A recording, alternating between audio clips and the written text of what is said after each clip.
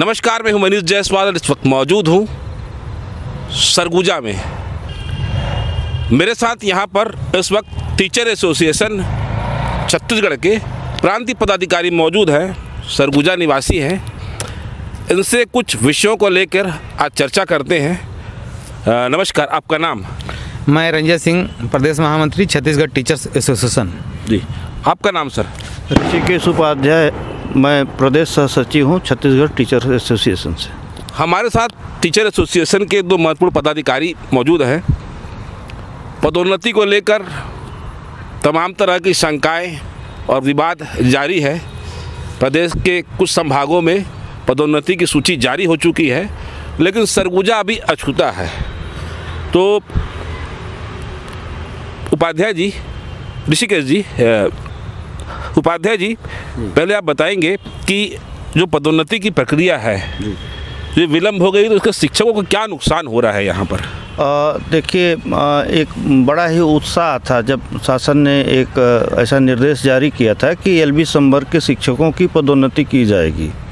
और एक तरह से समझ लीजिए कि ये एक ऐतिहासिक फैसला था एल बी संवर्ग के लिए। लेकिन अ, मैं मानता हूँ कि आज की तारीख में बस्तर संभाग में एल बी संवर्ग के शिक्षकों की पदोन्नति हो चुकी है दुर्ग संभाग में पदोन्नति हो चुकी है। राज्य शासन ने एक एक शेड्यूल जारी किया था कि इस तारीख इस शेड्यूल के अनुसार शिक्षकों की पदोन्नति करना है। कहीं न कहीं हमारे सम, संभाग में जो संयुक्त शिक्षा कार्यालय है इनकी या तो लापरवाही कहिए या इनका जो भी हीला हवाली कहिए, उससे हम लोग पीछे हटे और उस शेड्यूल के अनुसार हम नहीं चल पाए। और आज भी हमारे पूरे सरगुजा संभाग के एल बी संवर्ग के शिक्षक अभी भी अपने पदोन्नति की बाट जोह रहे हैं। पदोन्नति को लेकर मामला माननीय न्यायालय, उच्च न्यायालय बिलासपुर में भी चल रहा है। उस विषय पर बाद में बात करेंगे। रंजय जी पदोन्नति को लेके जो कयास लगाए जा रहे थे कि लोगों को फ़ायदा मिलेगा। तो ये जो तबादले वगैरह हो जाएँगे, कोई कहीं से जाएगा, कोई कहीं से जाएगा, कहा जा रहा है कि जो नियम बताए जा रहे हैं कि ब्लॉक से ब्लॉक को प्राथमिकता दी जाएगी, उसके बाद ब्लॉक में ना हो तो दूसरे ब्लॉक में प्राथमिकता दी जाएगी, फिर ज़िले में जाएगी। तो पदों को अगर अपन जैसे देखें, ससरे निगाह डालें और बस्तर की सूची पर गौर करते हैं तो अधिकांश तबादले दूसरे जिलों से दंतेवाड़ा वगैरह जहाँ पर भी है, बस्तर में हो चुके तो क्या इसका सहायक शिक्षकों को लाभ मिलेगा? देखिए, वास्तव में पदोन्नति में हमारे शिक्षक साथियों को काउंसलिंग के माध्यम से पदस्थापना की जानी चाहिए थी। और हमारा छत्तीसगढ़ टीचर्स एसोसिएशन का शुरू से स्टैंड रहा है। हम लोग लगभग सभी संभाग के जो वरिष्ठ अधिकारी हैं, संयुक्त संचालक हैं, उनके उनको ज्ञापन देकर के हम लोगों ने मांग किया था कि सभी हमारे शिक्षक साथियों का काउंसलिंग के माध्यम से पदस्थापना की जाए। काउंसलिंग के माध्यम से यदि पदस्थापना कराते तो जो हमारे महिला शिक्षिकाएँ हैं या जो विकलांग हमारे शिक्षक साथी हैं, उन साथियों को आगे अवसर मिलता, वो अपनी सुविधा अनुसार सीट का चयन करके वो विद्यालय में जाते और जो गवर्नमेंट की मंशा है, उसको भी पूरा करते। अब क्या है कि मानिए काउंसलिंग नहीं कराते हैं, इसी स्थिति में मनमाना पदस्थापना करेंगे। चाहे लाख ये इनका दावा हो कि भी हम विद्यालय स्तर पर या संकुल स्तर पर या विकासखंड स्तर पे पदस्थापना करेंगे, लेकिन शिक्षक के लिए उपयुक्त होगा कि नहीं होगा, उसको नहीं जान सकते। तो यहाँ पर शासन को काउंसलिंग करा के टीचरों की मंशा लेनी चाहिए थी, और टीचर की मंशा लेते टीचर तीन विद्यालय का नाम बताते और उसमें से वो कहीं ना कहीं ज़रूर कार्यभार ग्रहण करते। लेकिन यदि मनमाने रूप से अगर मानिए पदस्थापना की जाती है तो मुझे नहीं लगता कि शासन की जो महत्वपूर्ण एल बी को लाभ देने की योजना बनाई गई है, उसका कोई सार्थक रिज़ल्ट या सार्थक निर्णय आ पाएगा। सबसे ज़्यादा इस पर रंजय सिंह जी का कहना है कि सबसे ज़्यादा इस पर महिला और विकलांगों को प्रभावित हो सकते हैं, क्योंकि ज़िले के बाहर दूसरे ज़िले में जाकर अपनी व्यवस्थाएँ बनाना, स्कूल आना जाना, वो बहुत महँगा पड़ सकता है। अच्छा एक बात और बताएँगे ऋषिकेश जी, कि जो पदोन्नति की प्रक्रिया अब तो डिले हो चुकी है, कोर्ट में मामला भी जा चुका है, लेकिन यदि अभी ये प्रक्रिया चलती रहती तो आम सहायक शिक्षकों को जो एचएम वगैरह बन रहे थे, उनको लाभ मिलता? निश्चित रूप से लाभ मिलता। निश्चित रूप से लाभ मिलता और मैं जो जो मेरी जानकारी में है कि कम से कम हमारे पाँच हज़ार शिक्षक, पाँच हज़ार से ज़्यादा शिक्षक थे या तो वो प्राइमरी के एचएम बनते, या वो यूडीटी बनते, या वो मिडिल के एचएम बनते। लेकिन अब मुझे नहीं लगता है। मुझे जो, देखिए, जो मेरा अंदाज़ या मेरा कयास लग रहा है कि जिस तरह से माननीय न्यायालय ने इस मुद्दे पर हस्तक्षेप किया है, रोक लगाई है, इसका पूरा का पूरा खामियाजा हमारे एल बी संवर्ग के शिक्षक साथियों को भुगतना पड़ेगा। क्योंकि आप सबको मालूम है कि बस्तर संभाग की पदोन्नति हो चुकी है, दुर्ग संभाग की पदोन्नति हो चुकी है। वहाँ के हमारे बहुत से साथी जो हैं, ज्वाइन कर चुके हैं स्कूलों में। और जबकि यहाँ अभी आदेश भी नहीं निकला है और मेरी जानकारी में जो है कि अभी डीपीसी नहीं हुआ है, जो डिपार्टमेंटल प्रमोशन कमेटी होती है, उसकी बैठक भी नहीं हुई है। तो अभी जो भी आदेश निकलेगा और उसमें क्या होगा कि जो हमारे शिक्षक साथी जो मिडिल एचएम बनेंगे वो राज्य स्तर पर बाकी जगह से जूनियर माने जाएँगे।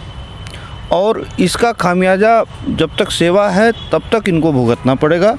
और जब भी आगे दूसरे पदोन्नति की बात होगी, जैसे मिडिल के एच जो हैं, अगर प्रिंसिपल की पदोन्नति की बात होती है, वहाँ वरिष्ठता सूची बनेगी।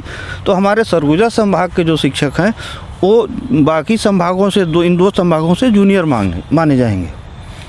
इसका सीधा सीधा असर हमारे सरगुजा संभाग के साथियों के पूरे सेवा काल पे पड़ेगा।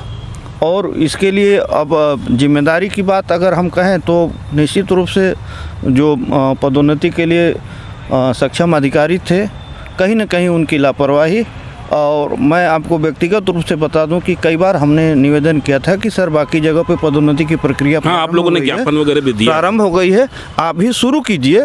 तो अ, कई बार हमें कहा गया कि नहीं अभी हमारे पास कोई ऐसी आदेश या निर्देश नहीं आया है और यहाँ पर 10 या 15 दिन बाद में पदोन्नति की प्रक्रिया शुरू की गई। दुर्ग और बस्तर के सापेक्ष में।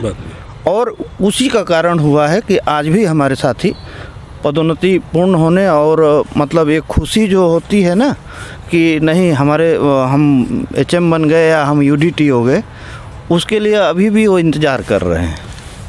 कहते हैं कि इस पदोन्नति की प्रक्रिया ने वन टाइम रिलैक्सेशन जो तीन पाँच पाँच साल को तीन साल किया गया है उससे पुरानी सेवा की अब जो गणना है वो शून्य हो जा रही है नियुक्ति संविलियन के बाद से हो रही है। इसी विषय पर अ, आपसे एक जानना था कि लाभ होगा कि नुकसान होगा इससे? वास्तव में वन टाइम रिलेक्सेशन के माध्यम से जो पदोन्नति प्रक्रिया जारी की जा रही है, उसमें तो गवर्नमेंट 2018 से जब से हमारा संविलियन हुआ, जब से हम एल संवर्ग में हमारी पदस्थापना हुई, तब से तीन साल का रिलेक्सेशन दे रहा है। तो ऐसी स्थिति में तो हम गाड़ी जो पूर्व की सेवा है, मैं भी 2005 से पदस्थ हूँ। 98 से भी हमारे बहुत से शिक्षक साथी पदस्थ हैं। तो ऐसे में तो पूर्व की सेवा हमारी खतरे में नज़र आ रही है। लेकिन वन टाइम रिलैक्सेशन के माध्यम से जो लाभ मिलना चाहिए, वो भी लाभ हमारे शिक्षक साथियों को नहीं मिल रहा है। तो दोहरा आघात, दोहरा घात हम लोगों पर पड़ रहा है। वास्तव में शासन को हमारी पूर्व सेवा अवधि को गणना करके कर्मरत वेतनमान का भी प्रावधान करते तो हमारे बहुत से शिक्षक साथियों को लाभ मिलता और जो वन टाइम रिलैक्सेशन के माध्यम से जो पदोन्नति की बात कर रहे हैं, वो भी उसमें समाहित हो जाता। सरगुजा की तासीर रही है कि यहाँ के मौसम का मिजाज बहुत ठंडा है मेन पार्ट यहाँ नज़दीक है। वैसी एक और तासीर रही कि यहाँ का खून काफ़ी गर्म होता है। शिक्षक आंदोलन में यहाँ के लोग बढ़ चढ़कर हिस्सा लेते हैं। अभी हाल ही में बिला रायपुर में जो आंदोलन हुआ था, उसमें भी लोग बढ़ चढ़ के हिस्सा लिए। किसी भी संगठन से थे, उनकी एक ही मांग थी हमारी विसंगतियाँ तो भविष्य में अगर आंदोलन होता है, पुरानी सेवा की गणना को लेके, क्रमोन्नत वेतनमान को लेके तो सरगुजा कहाँ पर खड़ा है? वास्तव में पुरानी सेवा को गणना को लेकर के एक बृहद मंच बनाने की चर्चा हमारे शिक्षक संगठनों में चल रही है, क्योंकि बहुत से हमारे शिक्षक साथी सेवानिवृत्ति की कगार पे हैं। वन टाइम रिलैक्सेशन के माध्यम से जो ये उपहार देना चाहते थे, वो भी लगभग लगभग ज़ीरो एंगल में आ रहा है मतलब उसकी बहुत ज़्यादा लाभ नहीं हो रहे हैं। तो ऐसी स्थिति में भविष्य में सभी संगठन एक होकर के हम, पूर्व सेवा की गणना को लेकर के बृहद आंदोलन करेंगे और सरगुजा उसमें जैसे हर एक आंदोलन में, हर एक जितने भी अभी तक आंदोलन हुए सभी में अग्रसर रहा है उस उस आंदोलन में भी अग्रसर की भूमिका निभाएगा। उसके लिए हम लोग अंदर अंदर तैयारी कर रहे हैं, अपने लोगों से हम लोग बातचीत भी कर रहे हैं, अपने लोगों को हम आने वाले समय में पुरानी पेंशन बहाली और ये दोनों विषय को लेकर के हम एक बड़ा आंदोलन करेंगे। महत्वपूर्ण जानकारी दी है और ये तो खैर चर्चा आम है कि चुनावी साल में संगठन अपनी शक्ति दिखाते ही हैं और इनकी पुरानी मांग है। तो देखते हैं कि इनकी मांगें कब तक पूरी होती है। जी आप कुछ कहना चाह रहे हैं? मैं ये कहना चाह रहा हूँ कि हमारी पुरानी मांग नहीं है। जी। क्रमोन्नति की मांग कांग्रेस के घोषणा पत्र में। घोषणा पत्र में। पुरानी पेंशन बहाली की मांग कांग्रेस के घोषणा पत्र में। आज घोषणा पत्र को तीन साल पूरे हो गए चौथा साल है। और हमारी देखिए एक आदत रही है। हमने कभी कहीं अलग से नहीं मांगा है। 2003 में जब भाजपा ने कहा कि नहीं हम सम्मिलन करेंगे हमने उसी को मांगा था। कहीं अलग से मांग नहीं रखी थी। हमारी इस अभी भी मांग हमारे, हमारा मुद्दा जीवित है, हमारा मुद्दा मज़बूत है कि कांग्रेस की सरकार है। कांग्रेस की घोषणा पत्र में कहा गया था कि हम अपने शिक्षकों को क्रमोन्नत वेतन मान देंगे। हमें चाहिए, आप अपने वादे को पूरा करिए। आपने कहा था कि जो ये नई पेंशन योजना है, इसको बदल करके हम पुरानी पेंशन योजना लागू करेंगे। आप उसको लागू कीजिए। अगर आप लागू नहीं करते हैं या अपने घोषणा से, अपने संकल्प से, अपने वचन से, अपने वो गंगा जल से अगर पीछे हटते हैं तो कहीं ना कहीं हम आपको मजबूर करेंगे कि नहीं, आपने जो संकल्प लिया है, उसको अपना पूरा करिए। अपना राजधर्म निभाइए। सरगुजा संभाग कांग्रेस का गढ़ कहा जाता है। चौदह विधानसभा सीटें इस संभाग से आती हैं और यहाँ से शिक्षक घोषणा पत्र और गंगा जल याद दिला रहे हैं। आने वाले सालों में सरकार के लिए ये कठिन निर्णय भी हो सकता है। आंदोलन का आगाज़, आंदोलन की पृष्ठभूमि तैयार हो रही है। सरगुजा से मैं मनीष जायसवाल, साथी पत्रकार चंद्र प्रकाश साहू के साथ। एक रिपोर्ट है, साथ में टीचर एसोसिएशन के दो महत्वपूर्ण पदाधिकारी। यह खबर अगर आपको अच्छी लगे, लाइक करें और कमेंट करें और शेयर ज़रूर करें, ताकि आपके विचार हमको इस खबर के माध्यम से मिलते रहे। धन्यवाद।